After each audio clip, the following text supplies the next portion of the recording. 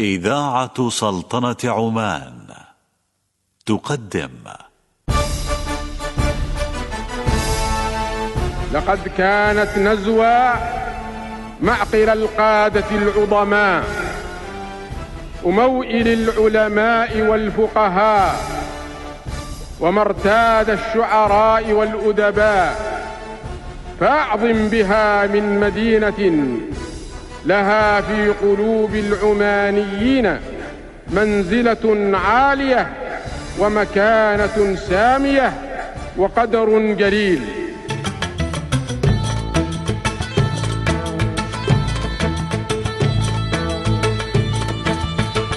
نزوة عاصمة الثقافة الإسلامية. نزوة عاصمة الثقافة الإسلامية. تطواف أسبوعي في ربوع مدينة التاريخ والعلم والتراث وأهم الفعاليات والمناشط الثقافية التي ستشهدها في احتفائية عاصمة الثقافة الإسلامية 2015 نزوة عاصمة الثقافة الإسلامية. شهبة نادت بالظفر أرخت زماما طايعا يا والكهوف مدت أيادي راضيات وتناغمت نزوة وتنوف بيوم السعد مستبشرات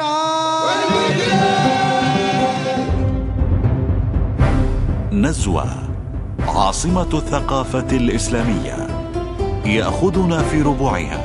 خلفان بن حمد الزيدي في الإعداد. سليمان بن علي المعمري. ونائلة بن ناصر البلوشية في التقديم. نزوة عاصمة الثقافة الإسلامية. إخراج خالد بن درويش أولاد ثاني.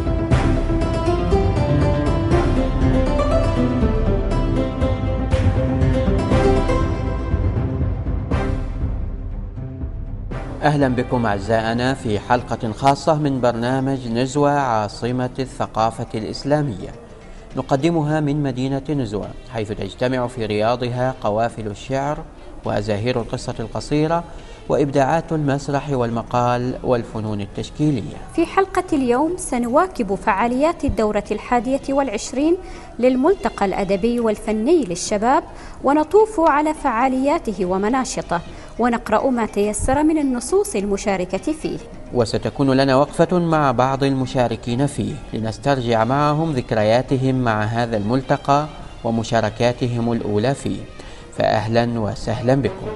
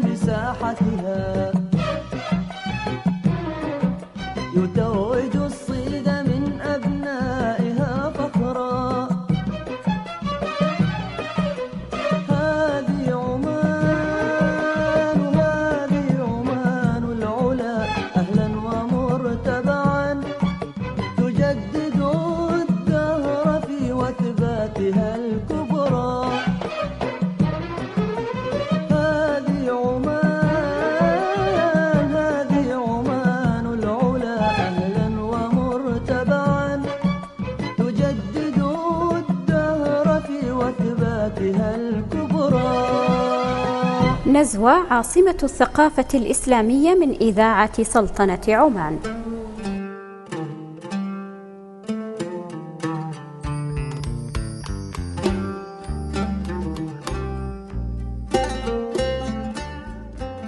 احتفاء بنزوة عاصمة الثقافة الإسلامية افتتح صباح الأحد التاسع من أغسطس 2015 بجامعة نزوة فعاليات الملتقى الأدبي والفني للشباب في دورته الحادية والعشرين. رعى حفل افتتاح الملتقى معالي الدكتور عبد المنعم بن منصور الحسني وزير الإعلام بحضور عدد من المهتمين بالأدب والثقافة والفنون. تكمن أهمية الملتقى الأدبي والفني في كونه محفلا سنويا تحلق من خلال أغصانه طيور الأدب والفن لتملأ آفاق عمان شعرا ومسرحا وفنا. ومن هذه الرؤية يأتي الملتقى الأدبي والفني كل عام ليجمع لفيفا من المثقفين والكتاب والفنانين ليناقشوا قضايا الأدب والفن وينقل الأقدم منهم إلى الأحدث رؤيته وتجربته في الإبداع والحياة.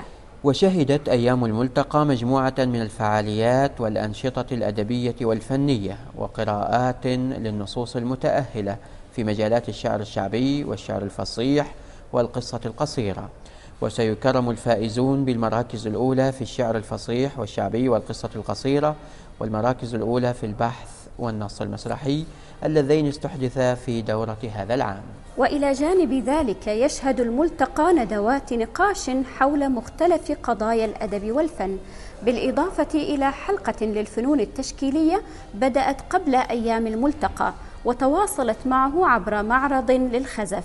بمشاركة مجموعة من الفنانين العمانيين الشباب. وقد استحدث الملتقى هذا العام مجموعة من الأفكار الجديدة نتعرف عليها من خلال الأستاذ محمد اليحيائي مستشار وزارة التراث والثقافة وعضو اللجنة الرئيسية للملتقى الأدبي والفني للشباب الحادي والعشرين ورئيس اللجنة الإعلامية لهذا الملتقى.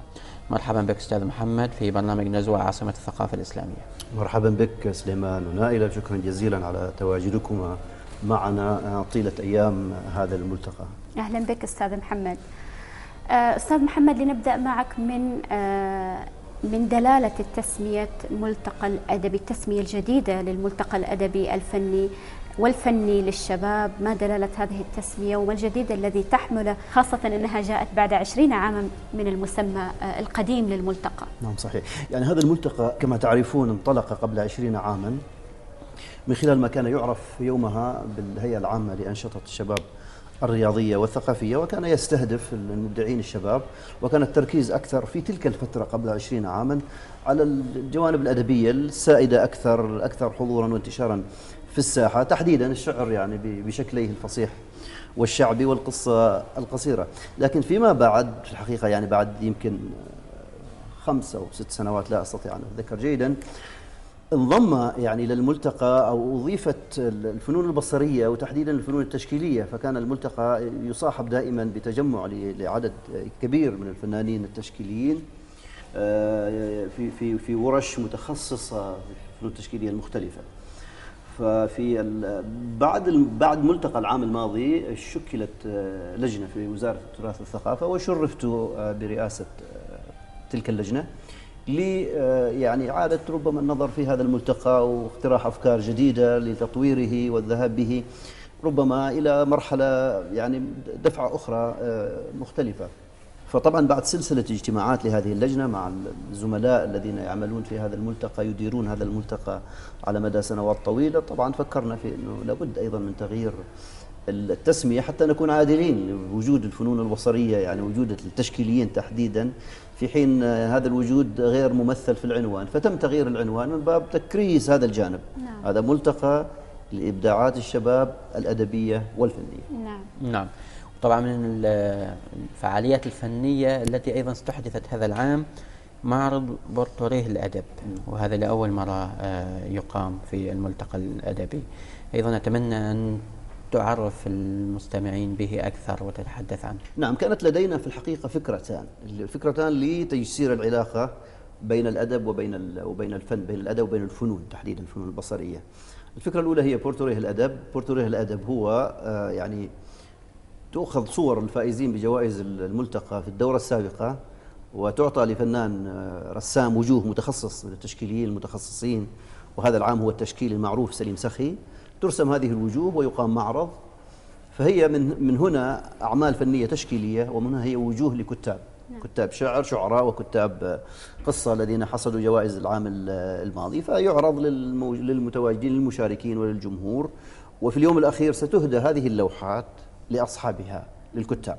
نعم. فنوع من أنواع التقدير أيضا والاحتفاء بهذه الأسماء عبر الفنان التشكيلي هذا التقليد سيستمر يعني وجد ليستمر طوال السنوات القادمة. يعني واحدة من المحفزات لخوض المسابقة ليس فقط الجائزة المالية هو أيضا أن تجد نوع من أنواع يعني ال- ال- الرمزية التي تبقى معك وتأخذها إلى البيت في لوحة مرسومة بريشة فنان تشكيلي. الف- الفكرة الأخرى الحقيقة التي لم نتمكن من تحقيقها هذا العام لظروف كثيرة لها علاقة أيضا بالوقت والتحضير. هي مسرحة الأدب. طرحنا فكرة هنا بورتوريه الأدب وهنا مسرحة الأدب. مسرحة الأدب تقوم إما على اختيار أحد النصوص القصصية الفائزة في مسابقة الملتقى الأدبي وتمسرح تعطى إلى كاتب مسرح أو إلى سيناريست متخصص يحولها إلى إلى مسرح بحيث أنه كاتب القصة يأتي في العام ال- التالي آه، ليرى آه، شخوصه التي كتبها على الورق حية تتحرك على خشبة مسرح مجسدة في أشخاص. آه، أو طبعا إحنا استحدثنا أيضا جائزة المسرح كما ذكرتم في في الت- في التقديم أو اختيار أحد النصوص المسرحية الفائزة ومسرحتها في ال- في الدورة القادمة. طبعا إن شاء الله يعني في الدورة القادمة يعني سيكون هنالك مسرحة الأدب. وهذا بهدف أن نجمع تماما بين جناحي هذا الطائر المسمى الملتقى بين الجناح الأدب وجناح الفنون التشكيلية والبصرية. طبعا الأفكار كثيرة في الحقيقة ولكن ربما يعني آه، السنوات القادمة ستحمل يعني إضافات آه، أخرى إلى جانب ما تحقق هذا العام في دورة هذا العام. أيضا حتى في بورتريه الأدب أستاذ محمد بإمكان تحويل أيضا النصوص ال- المتميزة آه، إلى لوحات تشكيلية لما لا يعني وي- ويصاحب الملتقى أيضا معرض من هذه النصوص. ما في شك هذه فكرة جيدة جدا يعني خصوصا الشعر يعني إنه ممكن بالفعل يحول ولكن يعني أعتقد أنه ندخل في منطقة أخرى قليلا يعني نعم. لأنه تحويل النصوص الأدبية إلى لوحات فن تشكيلي تحتاج في الحقيقة إلى جهد اولا وإلى وقت ثانيا وإلى يعني إلى وجود حساسية فنية أيضاً حساسية لدى فنية عند الفنان المشاهد. التشكيلي نعم. يعني علاقة الفنان التشكيلي يجب أن تكون علاقة بالنص. وثيقة بالنص. بالأدب تحديدا يعني نعم آه، ذكرت آه، المسرح وأريد أن أسألك من هذه النقطة طبعا يحسب للملتقى الأدبي هذا العام أنه أضاف مسابقة المسرح وأيضا مسابقة البحث. لكن آه، يؤخذ عليه أنه آه، أعلن عن هذه المسابقة قبلها بشهر قبل آه، قامة الملتقى. وأنت تعرف أن كتابة نص مسرحي يأخذ وقتا طويلا. لا يمكن أن تكتب نصا مسرحيا فقط من أجل المشاركة في في ملتقى. صحيح أن الإعلان لك- لكل الفنون الأدب آه، يعني الشعر والقصة ولكنهم يعرفون من من أول العام أن الملتقى سيقام بدون لي- ليسوا بحاجة إلى إعلان. بينما كتاب المسرح وكتاب البحث فوجئوا بأنه بعد شهر يجب أن يكون لديك نص جاهز أو بحث جاهز. نعم. هذه ملاحظة سليمة سليمان لكن هو الإعلان في الحقيقة مش قبل شهر هو الإعلان كان قبل حوالي ثلاثة أشهر. من من انطلاق المسابقة. وأنا أتفق معك تماما. الكتابة يعني نص مسرحي يحتاج إلى وقت وهذه بالتأكيد الآن في بال في بال اللجنة المنظمة لهذا الملتقى يعني لأن يكون الإعلان بوقت مبكر في العام ال- في العام القادم. آه، ولكن أيضا نحن تحركنا عبر التواصل الشخصي مع بعض الشباب الذين يعملون بالمسرح ومن خلال أيضا المسرحيين المعروفين في البلاد. لتشجيع لإيصال الفكرة ل- لكتاب المسرح.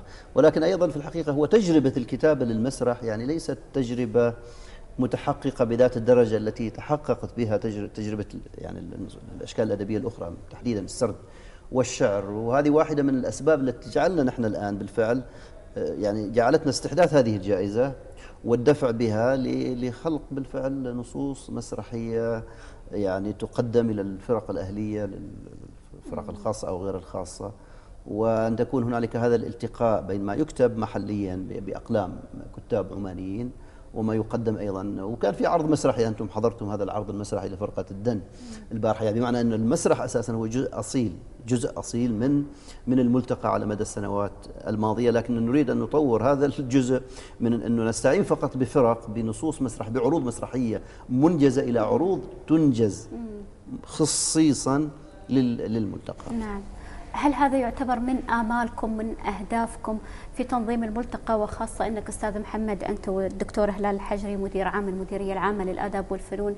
يعني آه، للمرة الأولى ربما تخوضون هذه آه، التجربة. تجربة التنظيم طبعاً. التنظيم نعم تجربة التنظيم. صحيح صحيح. يعني أنا بحقيقة تشرفت بالعمل في هذه الوزارة من تقريبا قبل عام وقليلا والصديق العزيز الدكتور هلال أيضا التحق يعني بال بالعمل. ونحن نعمل آه، يعني آه، يعني كلفنا وشرفنا في إنه يعني محاولة تطوير هذا المشروع المتعلق بإبداعات الشباب الأدبية والفنية.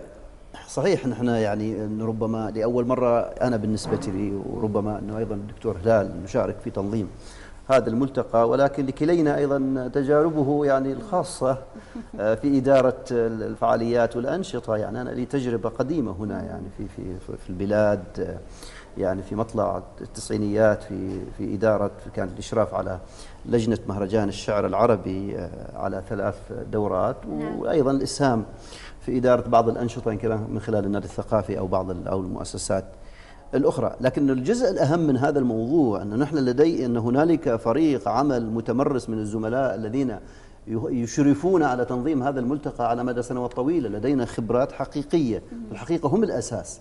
يعني نحن جميعا طبعا نفكر معا بصوت عالي، نخطط معا ولكنه عندما يأتي وقت التنفيذ لدينا الأذرع الحقيقية التي تنفذ هذا الملتقى وتديره.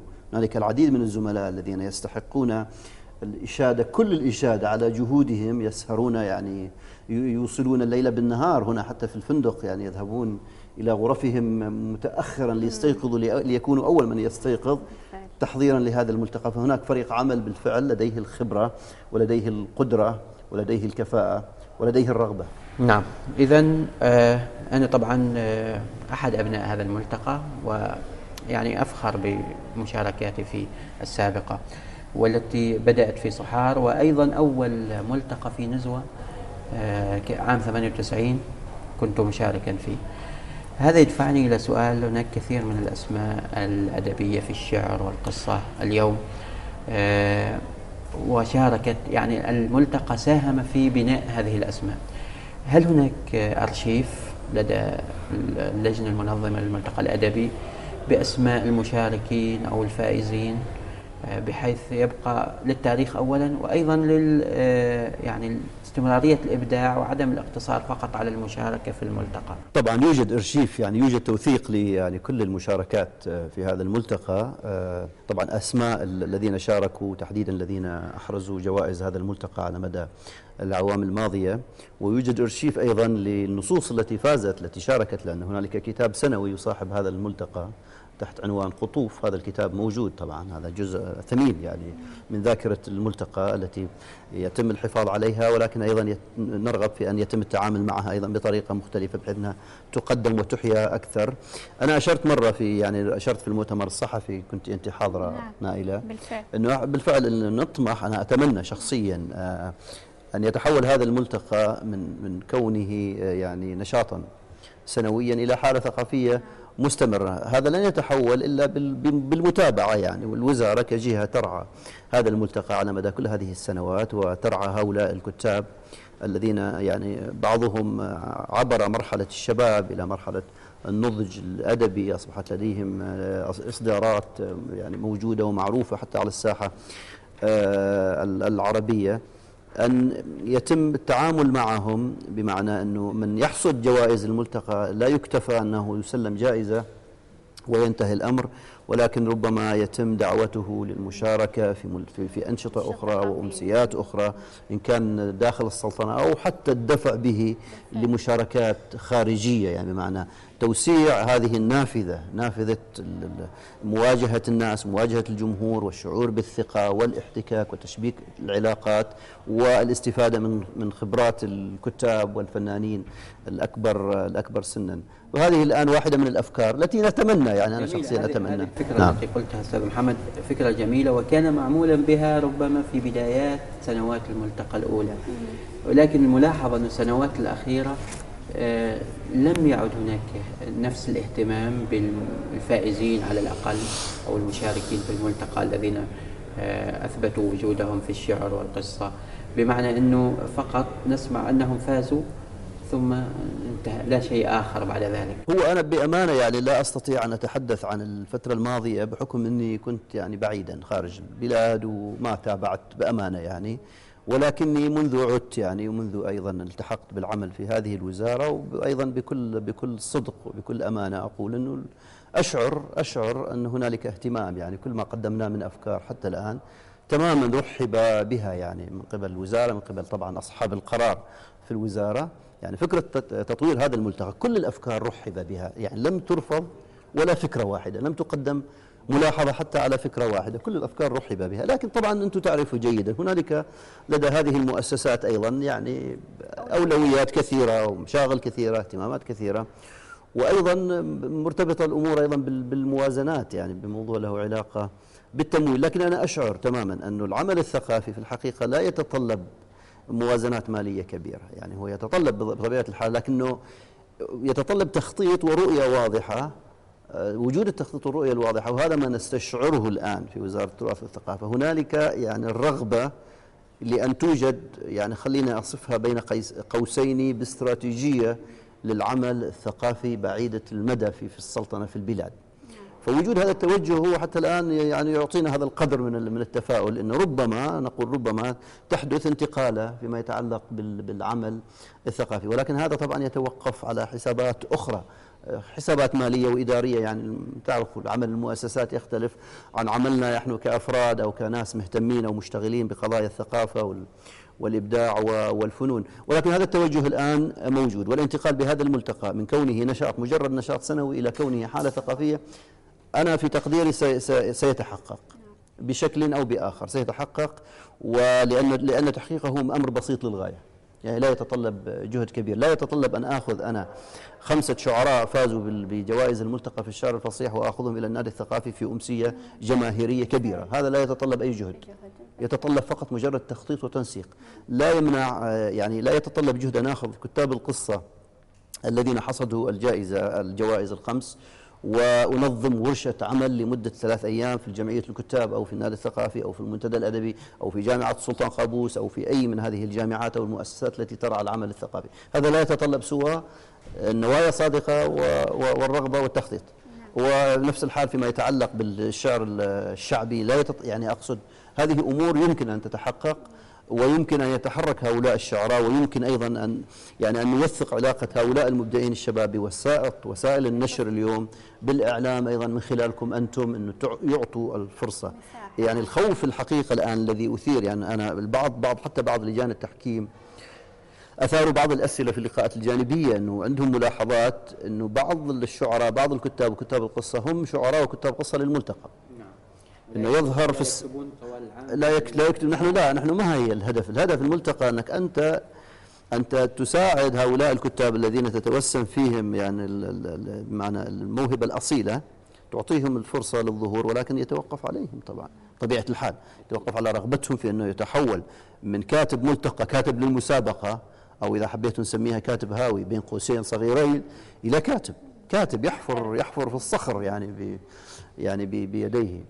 فالأفكار كثيرة والتطلعات كثيرة والأحلام كثيرة ولكن بطبيعة الحال تحتاج إلى وقت وتحتاج إلى جهود واللي يعني إن شاء الله تتحقق. وإحنا محتاجين إلى أسماء أيضا جديدة في الساحة الثقافية في السلطنة. نعود إلى نزوة آه، أستاذ محمد والملتقى يقام في نزوة للمرة الثالثة لكن المختلف هذه المرة إن نزوة عاصمة الثقافة آه، الإسلامية.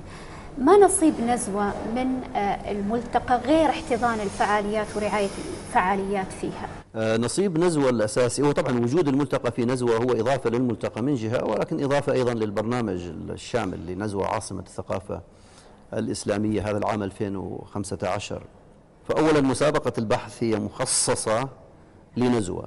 يعني كل ما يتعلق بالتاريخ والتراث الأدبي والثقافي أعلام هذه المدينة كانت هذا واحدة من شروط مسابقة البحث أن يتم التركيز على على نزوة. هذا من جهة. من جهة أخرى أنه فرقة الدن المسرحية التي قدمت عرضا هنا في نادي نزوة هي فرقة أهلية من هذه الولاية. فهذا أيضا بعض الشعراء الذين شاركوا في, ال في, ال في ال ليس في المسابقة ولكن في الأمسيات المصاحبة لهذا الملتقى بعضهم من هذه المنطقة. آه، نزوة نعم هي عاصمة الثقافة الإسلامية ولكن هي يعني مدينة هي عاصمة ثقافية. وعلمية عريقة لعمان ولجميع العمانيين وبالتالي مجرد وجود هؤلاء الشباب في هذه الولاية الاحتكاك بزملائهم ربما من هذه الولاية أنا في تقديري هذه إضافة مهمة في حد ذاتها. لكن لماذا لم تنظموا أستاذ محمد أيضا على هامش فعاليات آه، الملتقى؟ زيارات مثلا للمواقع آه، الأثرية والتاريخية في نزوة خاصة أن غالبية المشاركين ربما هم من خارج الولاية. هذه ملاحظة مهمة للغاية وأثيرت أيضا وكنا فكرنا في الحقيقة لما كنا نخطط للملتقى في- أنه بالفعل نعمل مثل ما يقولوا يوم يوم مفتوح وكانت واحدة من الأفكار أنه الذهاب مثلا يوم مفتوح والغداء في الجبل الأخضر أو مثلا. أو الجولة في ال- لكن كما لاحظت نائل الجدول مشدود كثيرا ومزحوم كثيرا وهدفنا الأساسي بالدرجة الأولى هو تجميع هؤلاء الشباب. وإتاحة الفرصة للقراءات وللنقاشات. اليوم يختلف أيضا. يعني اليوم أنت أنتم أنتم لاحظتم كم من الوقت الذي تستهلكه الجلسات الشعر. ليس في القراءات ولكن في نقاش في النقاشات في النقد الذي يقدمه أعضاء لجنة التحكيم. فتستهلك وقت آه، كبير. فلربما في العام القادم والأعوام القادمة يعني هو الملتقى أيام الملتقى الخمس أيضا أيام ليست قليلة. الحقيقة في كثير من الملتقيات والتجمعات. حول العالم لا تتجاوز الأيام الثلاثة في حين أنت أمام خمسة أيام ممتلئة مزدحمة من الصباح إلى المساء. فأتفق معك على هذه الملاحظة وأنا أعتقد ملاحظة وجيهة ويجب أنه يؤخذ بها. ولكن أيضا هنالك ملاحظة أخرى. أنا أتمنى من من الشباب الذين يستمعون الآن أنه أنا أتمنى أن أراهم أكثر حرصا على الحضور على الالتزام بالمواعيد والحضور لأنه لأنه نحن أحيانا وأنا أعطيت ملاحظة من أول يوم في في أول جلسة. في هذا الملتقى أنه أضعنا نصف ساعة فقط في انتظار وصول المشاركين. فالوقت الوقت ثمين في الحقيقة ونحن نتمنى أنه آه، وحاولنا هذا العام طبعا نتعامل إداريا مع المشاركين بشكل مختلف كنا أكثر صرامة وإلحاحا وعلى الحضور. آه، من يعني ألغينا فكرة الذهاب بالسيارات الخاصة يعني الانتقال بين الفندق وبين جامعة نزوة مقر إقامة ال- الأنشطة. الذهاب في حافلات مخصصة لهم. فمسألة الوقت مهمة. عندما يلتزم الجميع بالوقت ويحرص عليه سنجد هوامش في هذا في زمن الملتقى لهذه الأنشطة التي تفضلت وذكرت. نعم.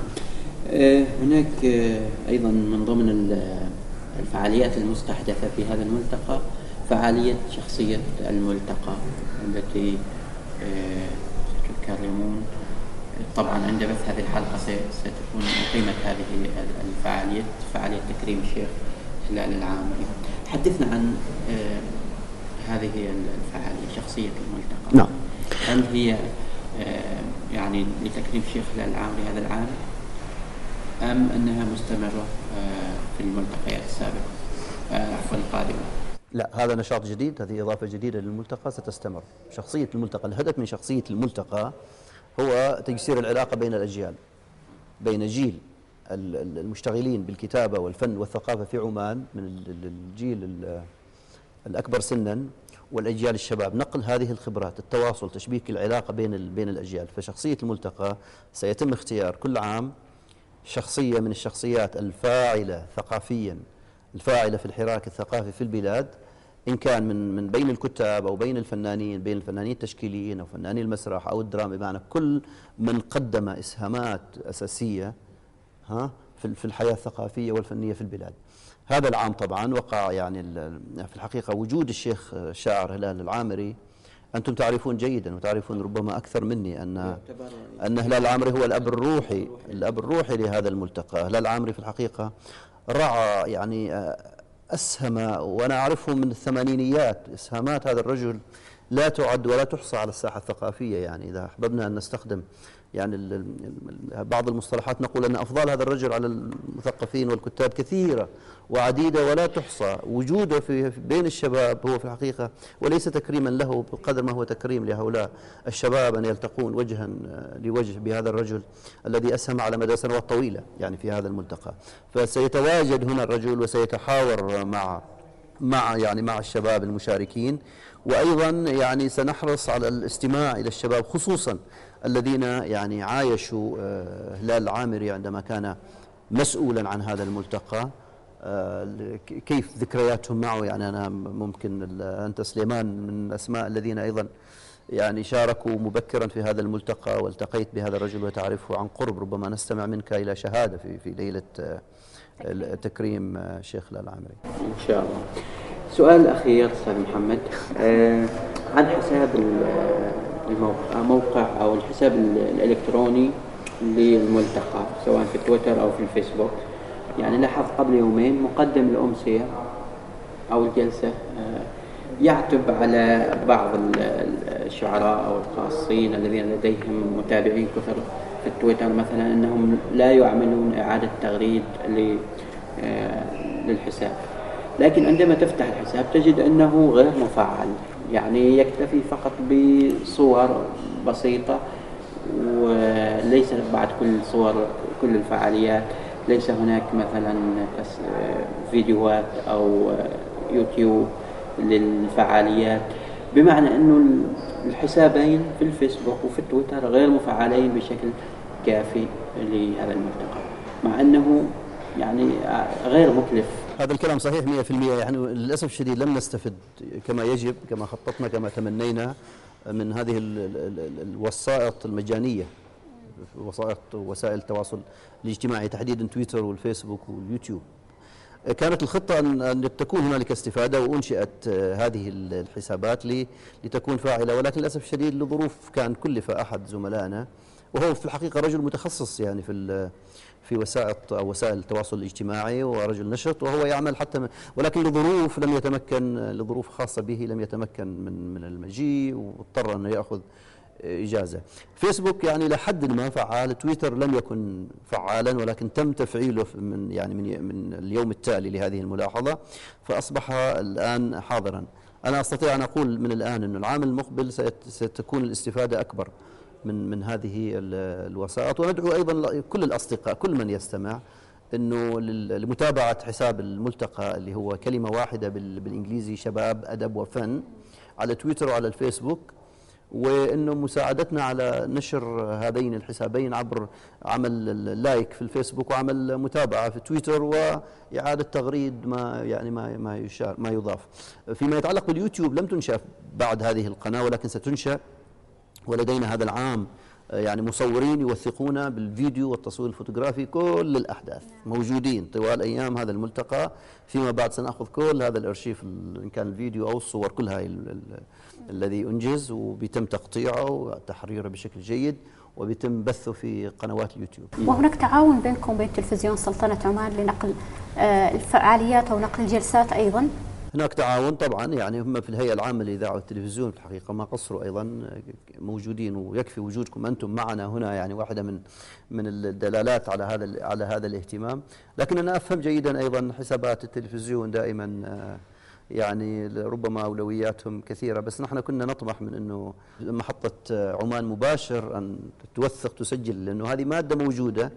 ومتوفرة ومادة جيدة أنه توثق كل هذه الجلسات القراءات الشعرية القصصية الجلسات النقاش جلسات النقاش في الفندق لأنه في الحقيقة التلفزيون خصوصا قناة عمان مباشر.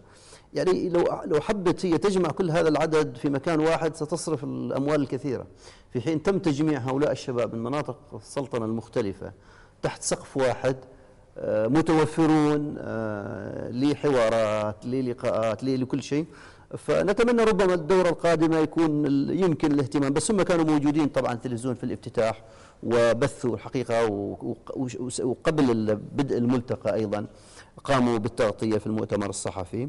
فالشكر لهم يعني الشكر للهيئة العامة للإذاعة والتلفزيون وتحديدا الشكر يعني لل الدكتور عبد الله الحراصي وهو صديق للكتاب والمبدعين والفنانين ودون شك أنه الرجل يعني سيسعى ربما لأن يعطى الجانب الثقافي في البلاد مساحه التي يستحق في في التلفزيون. نعرف إن الإذاعة يعني بالفعل العمل الثقافي في الإذاعة وبرامج برامج الإذاعة الثقافية إن كانت الإذاعة العامة وإذاعة الشباب لديها مساحة ومساحة ج- كبيرة ومساحه مساحة مهمة. وأنا من الناس منذ عدت يعني أستمع إلى ال- إلى البرامج الثقافيه في الإذاعة وتابعها بحرص يعني قدر قدر الإمكان. لكن نتمنى أن التلفزيون يعطي مساحة أفضل. كل التوفيق نتمناه للملتقى الأدبي في هذا العام وفي عوامه القادمة إن شاء الله. شكرا جزيلا لك الأستاذ محمد اليحيائي مستشار وزارة التراث والثقافة عضو اللجنة الرئيسية للملتقى الأدبي والفني للشباب الحادي والعشرين ورئيس اللجنة الإعلامية لهذا الملتقى على هذه الإضاءات حول الملتقى الأدبي والفني للشباب الحادي والعشرين ونتمنى أن نلتقي إن شاء الله في حوارات ولقاءات قادمة. شكرا لكم شكرا جزيلا. شكرا أستاذ محمد.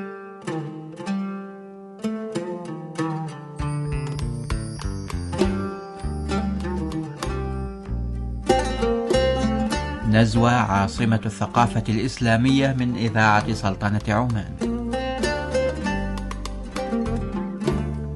ونبقى في مدينة نزوى حيث تحتضن فعاليات الملتقى الأدبي والفني للشباب الحادي والعشرين. لنقدم نصين من النصوص التي قدمت فيه ونبدأهما بنص قصاصة من مخطوط قديم للشاعر حسام الشيخ. قصاصة من مخطوط قديم. وحدي إلى أين أمضي؟ والمدى سفر.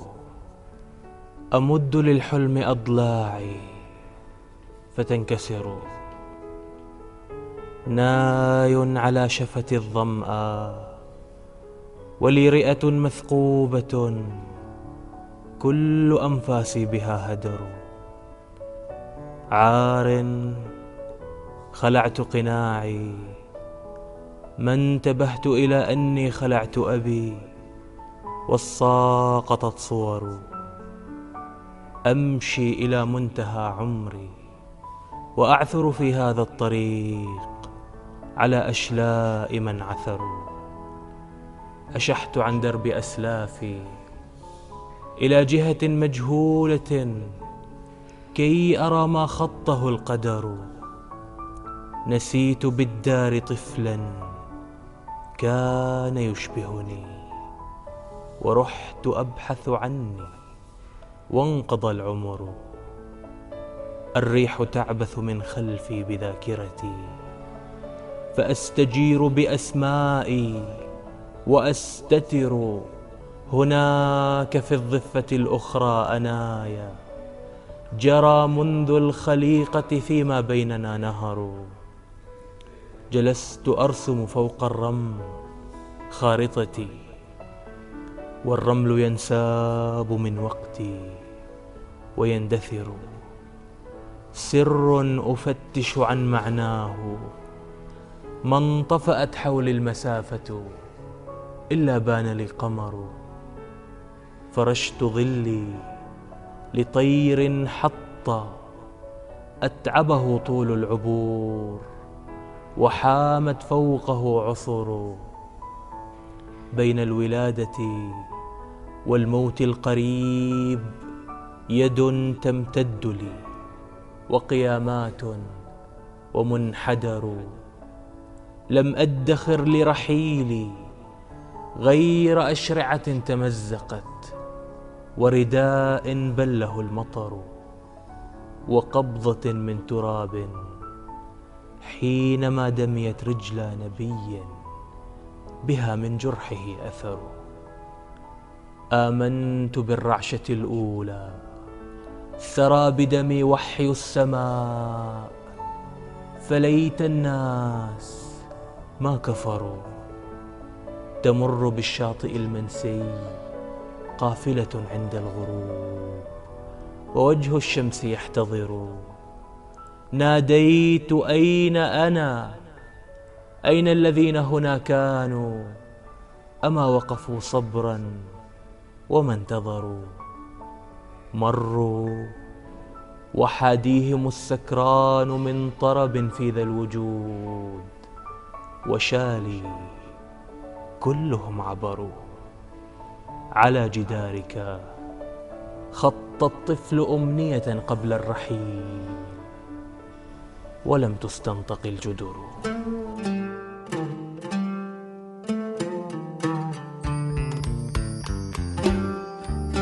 كان هذا الشاعر حسام الشيخ قارئا قصيدته قصاصة من مخطوط قديم. أما الآن فنستمع إلى قصة للكاتبة بشاير بنت حبراس السليمية.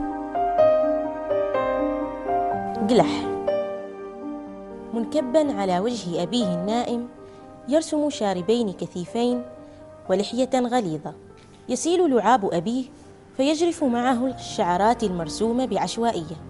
يجففه بمحرمة ويعاود الرسم. شخير الأب المزعج يوتره أحيانا فتصير الخطوط عوجاء ومموجة. فيضطر لثوان أن يسد منخري والده بإبهامه وسبابته لبرهة. رسم ذات ليلة لأمه أقراطا طويلة بعدما ألحت على والده أن يبتاعها لها وما كان يفعل.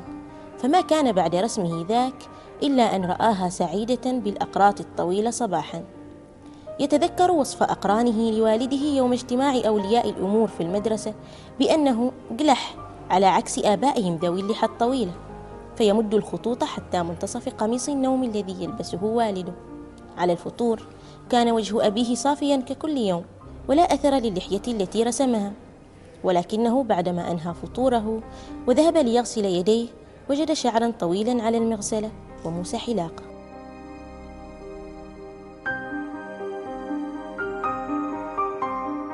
كانت هذه قصة جلح لبشاير بنت حبراس السليمية.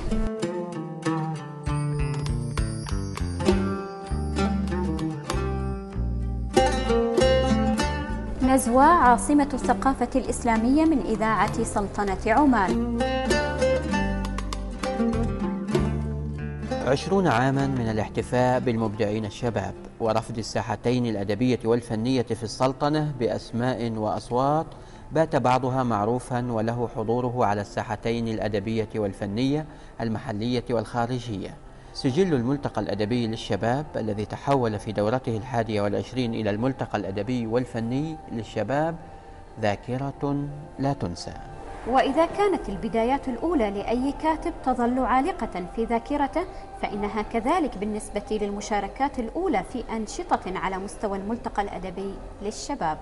الذي يعتبر جامعة يتخرج منها الأدباء العمانيون الشباب وينطلقون إلى آفاق رحبة من الإبداع. ولأن مدينة نزوة تحتفي هذا العام بكونها عاصمة للثقافة الإسلامية. ومع هذا الاحتفاء تنعش ذاكرة بعض المشاركين في فعاليات الملتقى الأدبي والفني في دورته الحادية والعشرين وهم يعودون إليها من جديد بعد مشاركات سابقة في الملتقى كانت في نزوة أيضا. ففي ثلاث دورات من دورات الملتقى الأدبي للشباب كانت مدينة نزوة محط رحال هذه الاحتفالية البهيجة التي تجتمع فيها نوارس الشعر والأدب لتحلق في سماء الإبداع وكانت في كل مرة تسجل ذاكرة حافلة بالصور والحكايات. في الدقائق القادمة نستمع إلى تجربة الكاتبة هدى حمد مع الملتقى الأدبي ونطوف على الحكايات التي اختزنتها ذاكرتها من مشاركاتها السابقة في الملتقى بشكل عام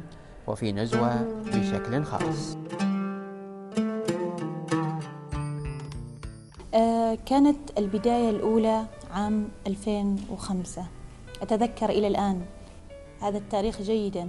كان أول صيف إلي في آه، السلطنة بعد أن كنت عائدة آه، من جامعة حلب وكنت في تلك السنة متخرجة. وكنت أقرأ عن مسابقة الملتقى الأدبي لا أعرف عنها شيء لا أعرف عن عوامها السابقة أي, أي, أي شيء. فكان أن كان لدي نص جاهز العتمة كحيز آمن. ورسلته للمسابقة وتفاجأت أني كنت من ضمن الخمسة عشر الموافق على ذهابهم. فكانت نزوة التي أزورها اليوم للمرة الثانية. كان ذلك في 2000 وخمسة. وبدأت آه، أولى علاقاتي بالملتقى الأدبي. بدأت أولى علاقاتي بالمحيط العماني أصلا. بأن أرى أسماء عمانية بكتاب في لجان التحكيم شباب من مثلي آه، يرتجفون على المنصة ينتظرون رأي لجنة التحكيم ينتظرون النتائج. ف وكانت أيضا لقائي الأول بالشيخ هلال العامري شخصية مختلفة تماما شخصية مؤثرة إلى الآن أذكره بشكل جيد. آه وكان له دور كبير في مسألة استمراريتي من عام 2005 إلى عام 2015 آه الشيء المختلف في الملتقى الأدبي هي الفرصة اللي أنا أعتبرها الفرصة الذهبية اللي لو استطاع الشاب أن يقتنصها لصنع شيء مختلف. بمعنى أنك أنت متاح لك آه، خمسة أيام ذهبية أن تلتقي بكتاب أن تجلس أن تتحاور أن تقرأ أن تستمع إلى نص آخر. هذا الفضاء في في مكان مثل عمان غير متاح كثيرا ولا يتسنى حتى لمن يسكن مسقط أن يتاح له هذه الأجواء الحميمية الجلسات المسائية التصادم في الآراء الرأي والرأي الآخر. هذه الفرصة استطاعت البعض من الأسماء أن يغتنمها بشكل جيد جدا ولمسنا ذلك في نصوصهم لمسنا ذلك وهم يتطورون من, سنة إلى أخرى. بينما بالمقابل بقي آه، نوع آخر من الكتاب يكتب لأجل المسابقة يكتب نص واحد في السنة يأتي ربما لا لا يتغير لا يتغير ما يكتب لا لا تتغير طريقته لا يتغير حتى حتى وعيه.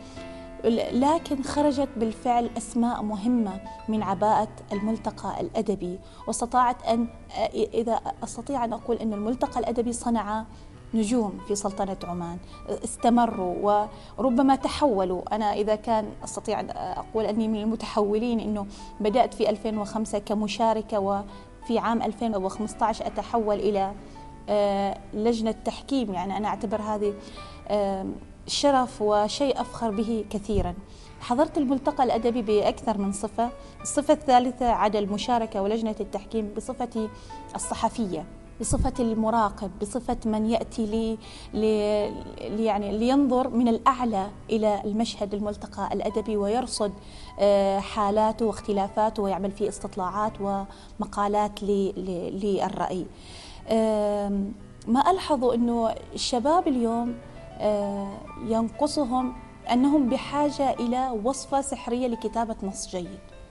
وهذه آه، تولد لديهم الاستعجال يحتاج الكتابة تحتاج إلى صبر وإلى أنا وإلى تريث وإلى إنضاج التجربة.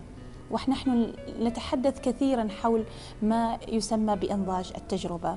آه، وتطور النص عبر القراءة وعبر الاصطدام المباشر بالحياة ومغامرة الكتابة في حد ذاتها. آه، ملتقى نزوة ملتقى آه، يعني وأنا فيه في 2015 يوجد يعني يجعلني أستعيد أشياء كثيرة عن البدايات عن العثرات الأولى ويعني أسعد بنفسي أنه آه، على مدى نصف عمر الملتقى الأدبي آه، أتجاوز فيه نفسي. يعني لي كثيرا الملتقى الأدبي وسأكون حريصة على أن آتي إليه. والجميل في الملتقى الأدبي أنه في ناس أصلا يحضرون إليه من تلقاء نفسهم ربما لا تصلهم حتى بطاقات دعوة. وهذا إن دل على شيء فهو يدل على نجاح الملتقى. وأكثر ما أسعدني في ناس شاركوا في القصة القصيرة مثلا لدينا السنة ولم تدخل نصوصهم إلى المسابقة لكنهم جاءوا. يعني جاءوا ودبروا أمور بقائهم وسكنهم إلى آخره. وفقط يقولوا إحنا جايين عشان نستفيد أو جايين نعرف نصنا لم يدخل لماذا دخل الآخر؟ بماذا؟ بأي خطوة يسبقنا؟ فالملتقى الأدبي يصنع حالة.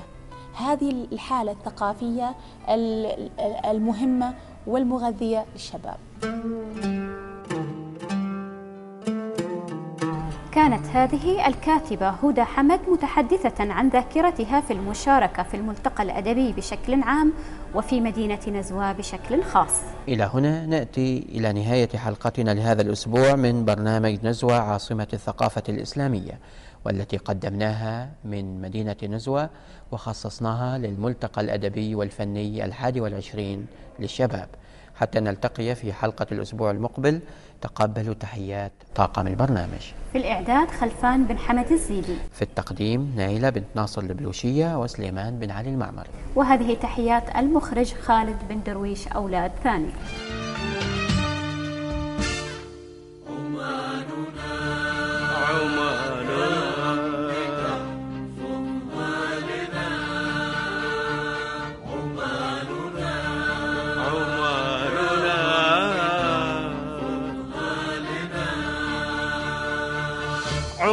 عمان هي حبنا عمان هي أمنا. نفديها بروحنا وأولادنا ودمنا. نفديها بروحنا وأولادنا ودمنا. هي حبنا. نفديها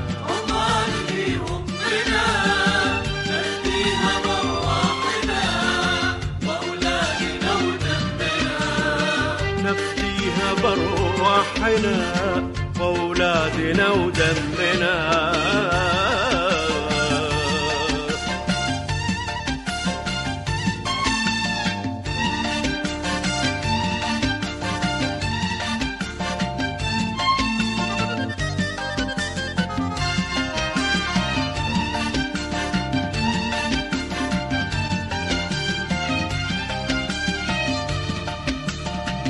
كل القلوب تنادي. عشت لنا يا بلادي. كل القلوب تنادي. عشت لنا يا بلادي. لك وعد منا ولك عهد. لحب قبرك لا بعد.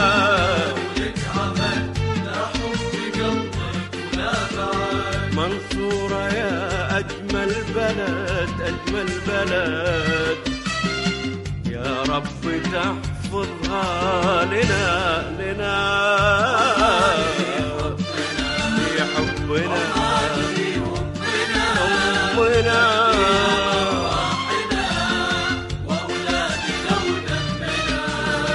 نفديها بروحنا وأولادنا ودمنا.